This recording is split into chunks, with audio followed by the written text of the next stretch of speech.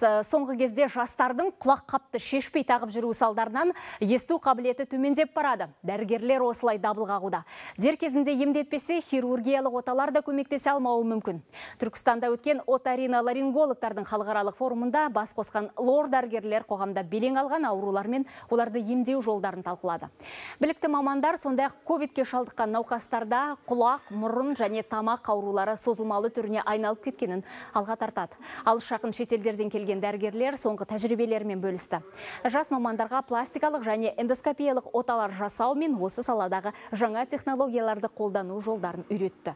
Себебі елімізде лор дәрігерлер жетіспейді. Әсіресе өңірлерде дәрігерлердің біліктілігін арттыру маңызды дейді сала мамандары. лор дәрігерлердің саны 1400-дей лор дәрігер бар қазақстанда. Ал кешегі санақ бойынша біздерде 20 миллиондай халық бар. Көп жерде біздер лорда шоғырланған үлкен қалаларда сондықтан осы өңірде келіп осы оңтүстік қазақстанның мамандары осы жердегі көрсін білсін деп көптеген біз жылда осындай өңірлерде өткізіп тұрамыз. Үлкен конгресс конференцияларда.